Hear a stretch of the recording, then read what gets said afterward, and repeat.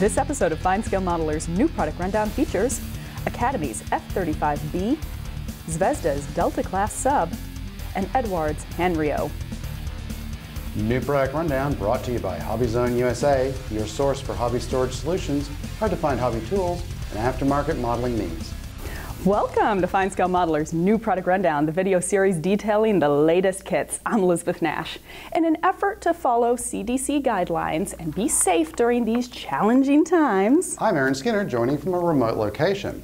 Our first kit today is a subject that needs little introduction. It's gotten a lot of play on New Product Rundown in recent years.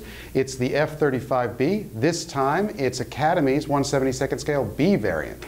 This is the vertical takeoff and landing version of the Strike Fighter, now in service with the U.S. Marine Corps, which this kit includes markings for. Typical of other F-35 kits, Academy divides the fuselage in upper and lower halves, including the wings. The upper features recessed panel lines and subtly raised places for the lighter gray outlines. These are more of a texture change than anything else. Also, here is the upper fan for the forward vertical flight system, and even latch to tail for the canopy. With surface details similar to the top side, the lower fuselage has openings for the landing gear and weapons bays, as well as the wing vertical flight vents. The separate lower forward fuselage incorporates the opening for the nose gear bay and the lower vent for the vertical ducted fan. The tip of the nose is one piece. To bolster the thin lower fuselage, both weapons bays and the frames for the gear bays are a single piece. The wheel bay roofs are added to it. The fuselage halves also sandwich the outer and inner intake parts with the auxiliary opening. The intakes end with a front fan. To fill the open louvers for the front ducted fan, there's an insert with molded fan. At the back end of the fuselage, inside a molded alcove, you can install optional parts to pose the variable nozzle in takeoff and landing mode or flight mode. Other details here include the rear fan and the two-part nozzle.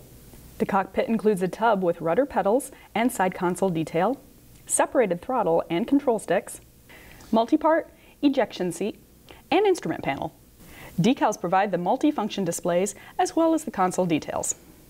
The vertical tails have fine surface molding, and the kit provides optional elevators for flight or VTOL mode. Also given are optional leading and trailing edge flaps to pose them up or down. The landing gear bays and legs show good detail, and the main wheels have separate tires. There's detail molded inside the gear doors, and separate doors are provided to pose them closed.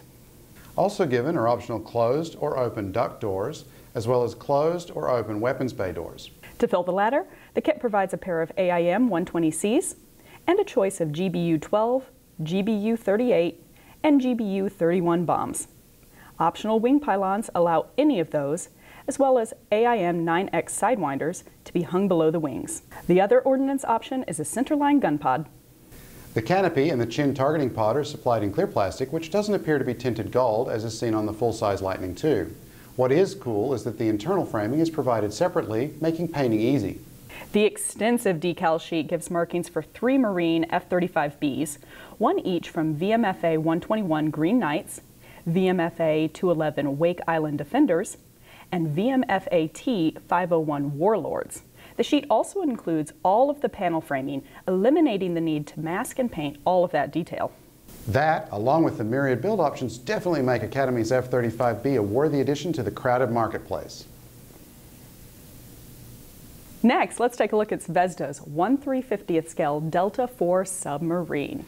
These subs, known as Delfin in Russian or Dolphin class, are large and capable of launching multiple ballistic missiles. Seven Delfin class submarines are in service. This kit represents K 114 Tula, the fourth built. Almost as long as the U.S. Navy's Ohio class subs, the Delta IV is long, which makes for a long 135th scale model, about 18 inches overall. Surface detail on the hull halves comprises a few fine recessed panel lines, a few raised plates, and some vents. The hull's rear is divided in upper and lower halves, including the twin screws, which build from individual blades and a shaft. The area above the waterline is separate, with a long base, including deck fixtures, as well as the sides and top of the missile housing. A series of internal braces gives the long model strength. The sail halves and its upper deck with weather deck contain a bunch of equipment like periscopes, antennas, and sensors. Optional parts allow for that stuff to be post stowed or deployed. All of the boat's rudders and planes are movable inside their housings. That includes the planes on the sail. A series of small intakes and vents finish the hull. Two of the missile hatches can be post open to reveal a pair of R-29Rs in their tubes. A basic stand is included, along with a nameplate. The decal sheet provides the white boot stripe, draft markers, stencils, flags, and the Tula's crest. This should be a straightforward build with nice detail and good options that should be perfect for a quick project. Finally, here's the latest version of Eduard's 148 scale Hanriot HD1, a limited edition featuring the Belgian-built fighter in Italian service. Now, the plastic in this kit's been around for about two decades, but as always, Eduard is great about re-releasing its older kits with great marking options and improved instructions. Surface detail on the smooth plastic is minimal, in keeping with the subject, but what is here is appropriately raised and recessed. Both the lower and upper wings are single full-span parts with nicely rendered rib texture and control surface outlines. A one-piece tailplane and vertical stabilizer with rudder finish the basic airframe. There's a little structural detail molded inside the fuselage. To it is added the cockpit floor, frames, rudder pedals and control stick, a support for a photo etch metal seat, and instrument panel. Up front, inside the one-piece cowl, is the Le Rhône rotary engine for the two-bladed prop. Other features include the machine guns for the front fuselage, fine struts and control horns for the wings, and the landing gear, as well as a clear windshield.